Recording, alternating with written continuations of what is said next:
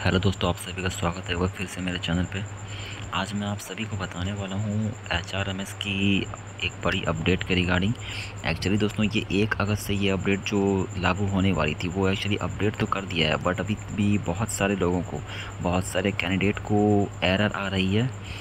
और ये एक्चुअली दोस्तों आप सभी लोग जानते हैं कि रेलवे में ज्वाइन करने के बाद आप सभी की एक आईडी बनती है H R M S I D और वो उसी आईडी की एक पोर्टल होती है। उस एच आर एम एस की पोर्टल पे आप सभी को लीव के रिगार्डिंग फिर आप सभी की एजुकेशन डिटेल और जो भी वैकेंसी फिल करते हैं, वो सारी डिटेल इस पोर्टल के थ्रू आप लोग अपडेट कर सकते हैं या फिर चेक कर सकते हैं या रिक्वेस्ट रेस कर सकते हैं। मतलब बहुत सारी पॉसिबिलिटी इसमें दोस्तों अवेलेबल रहती है।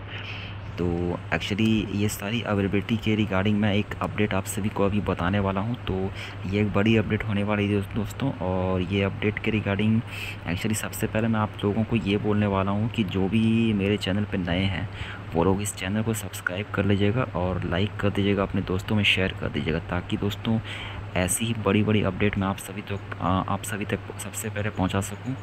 तो चलिए स्टार्ट करता हूँ कि ये अपडेट आखिर है क्या और इसमें क्या बताएगी आप सभी को। तो देखिए एक्चुअली दोस्तों इसमें एक नोटिस निकाला गया था। ये एक्चुअली जयपुर डिवीज़न के रिगार्डिंग जयपुर डिवीज़न के द्वारा निकाला गया है। देखिए, ये नोटिस में एक्चुअली बोला क्या है दोस्तों? एक्चुअली ये नोटिस निकाल कर जयपुर की जोन ने अपने इंटरनल डिवीज़न से ये डिटेल मांगा था कि पूरी अगस्त में जो अटेंडेंस की डिटेल है एम्प्लॉयज़ की, वो सारी डिटेल मांगा था। एक्चुअली इसमें बताया गया क्या है दोस्तों, वो देखिए कि उपरोक्त रेलवे बोर्ड के संदर्भित पत्र के द्वारा एचआरएमएस के लीव मॉड्यूल का प्रारंभ दिनांक एक अगस्त से किया जाना है। उक्त संबंध में दिनांक इकतीस जुलाई तक की उपस्थिति या अनुपस्थिति का विवरण की आवश्यकता है। अतः आपसे अनुरोध है कि दिनांक 11 जुलाई से 31 जुलाई तक की उपस्थिति अनुपस्थिति का विवरण तीन अगस्त तक भेजने की व्यवस्था करें, जिससे एचआरएमएस के लीव मॉड्यूल को सुचारू रूप से चलाया जा सके। तथा संबंधित कर्मचारियों को यह भी मार्गदर्शित किया जा सके कि आगामी अवकाश स्वीकृति हेतु उक्त वर्णित मॉड्यूल का प्रयोग सुनिश्चित करें। तो यहाँ पर यह भी बोला गया कि इसे अति प्राथमिकता देवें। तो एक्चुअली ये अपडेट मांगा गया था कि इकत कि ग्यारह जुलाई से इकतीस जुलाई तक की जो भी अटेंडेंस की जो अपडेट है, जो भी सभी एम्प्लॉय की, वो सारा अपडेट उनको शेयर किया जाए जोन जोन को ताकि वो उस पे एच की पोर्टल पे अपडेट कर सके। और इसी के रिगार्डिंग एक पेपर कट भी जो निकल कर आई है दोस्तों, यहाँ पर देखिए ये क्या बताया गया है कि ये अपडेट एक्चुअली क्या चीज़ वो अपडेट करना चाह रहे थे इस पोर्टल में। तो देखिए यहाँ पर क्या बोला गया है कि 170 साल पुरानी अफसरों और बाबुओं की छुट्टी लेने की परंपरा में बदलाव कर दिया गया है। रेलवे में और 2023 से कर्मचारियों और अधिकारियों की छुट्टी ऑनलाइन की मजदूर की जाए ऑनलाइन ही मंजूर की जाएगी। अब मैनुअल जो अर्जी आप लोग दोस्तों एक्चुअली छुट्टी के लिए देते थे, वो एक अगस्त से एक्चुअली बंद हो गया है और अब आपको अधिकारियों पर निर्भर नहीं रहना पड़ेगा। आप लोग इस पोर्टल में ही जाकर छुट्टी ले सकते हैं। और यहाँ आगे क्या बताया गया है? दोस्तों, देखिए, रेलवे बोर्ड ने कर्मचारियों और अधिकारियों की सहूलियत के लिए ह्यूमन रिसोर्स मैनेजमेंट सिस्टम की पोर्टल लागू किया है जिस पे सभी अधिकारियों और सभी कर्मचारियों की छुट्टी का लेखा जोखा होगा। इतना ही नहीं, इस पोर्टल पर कर्मचारियों अपने वेतन ट्रांसफ़र, पोस्टिंग, छुट्टी, ट्रेनिंग, वेतन में वृद्धि और जानकार और आदि जानकारी भी ले सकते हैं। यह पोर्टल एक्चुअली लॉन्च होने के बाद देश भर के सभी जोन व मंडलों का डेटा इस पोर्टल पर अपलोड करने की प्रक्रिया लंबे समय से चल रही थी। इसका मुख्य उद्देश्य ऑनलाइन सुविधा उपलब्ध कराना है। कर्मचारियाँ घर बैठे इस पोर्टल का इस्तेमाल कर सकते हैं। देश भर में कर्मचारियों की संख्या लाखों में है, जबकि अम्बाला मंडल के करीब तेरह हज़ार कर्मी कार्यरत हैं।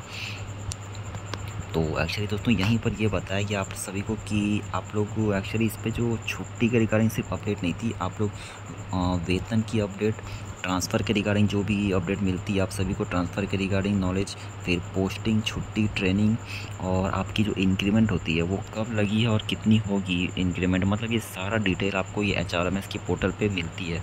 बट अभी क्या हो रहा है दोस्तों कि बहुत सारे कैंडिडेट ने मुझे ये कमेंट किया है कि एक अगस्त से ये अपडेट तो कर दी गई है बहुत सारी चीज़ें, लेकिन एजुकेशनल डिटेल में मान लीजिए जैसे किसी का ग्रेजुएशन है, हाईएस्ट क्वालिफ़िकेशन, बट उनका वहाँ पर सिर्फ़ शो कर रहा है इंटरमीडिएट तक, सिर्फ़ इंटर तक डिटेल शो कर रहा है। तो ये अभी पूरी अच्छी तरह से तो अपडेट उस पर नहीं की गई है, बट ये बहुत ही अच्छा पहल है दोस्तों बहुत ही अच्छा अपडेट है, ये जो स्टार्टिंग एक्चुअली रेलवे ने किया है, ये बहुत ही मतलब वैल्यूएबल है दोस्तों। तो एक्चुअली इसमें आप सभी लोग जो लीव जो रेस करते थे लीव तो उसके लिए वो लोग, आप लोग ऑनलाइन ऑफलाइन मॉडल पे रेस करते थे। एक्चुअली आप सभी को अधिकारियों के पास जाकर रिक्वेस्ट करना पड़ता था। बट अभी क्या है दोस्तों कि आप सभी को ऑफलाइन नहीं, आप लोग ऑनलाइन ही रिक्वेस्ट रेस कर सकते हैं लीव के लिए, वहाँ पर रीज़न जो कारण है आप लोग का, वो कारण वहाँ पर मेंशन कर सकते हैं और एक न्यू रिक्वेस्ट की एक ऑप्शन आएगी। वहाँ पर ऑप्शन पे क्लिक करके आप सभी कितने तारीख से कितने तारीख तक आप लोग को लीव चाहिए? और क्या रीज़न है पर्सनल रहती है अदर इलनेस या फिर टूर या फैमिली मतलब बहुत सारी ऑप्शन आती है दोस्तों उसमें। तो ये आप लोग रेस कर सकते हैं और ये एक्चुअली एक से दो दिनों में आपकी अप्रूव भी कर दी जाती है। तो वहीं पर जो एक्चुअली एचआरएमएस की पोर्टल पे नहीं एक्चुअली आप सभी के जो अधिकारी लोग रहते जिनसे आप लोग ऑफलाइन दोस्तों रिक्वेस्ट मांगते थे मतलब ऑफलाइन जिनको बोलते थे जा कर के छुट्टी चाहिए तो उस तरह से अब आपको नहीं बोलना होगा। आप लोग यहाँ से ऑनलाइन करेंगे और वो लोग ऑनलाइन ही वहाँ पर चेक भी कर लेंगे और वहीं से अप्रूव कर देंगे। तो ये एक्चुअली फैसिलिटी है। तो एक्चुअली इसमें क्या है? आगे वो मैं आप सभी को बता रहा हूँ। देखिए।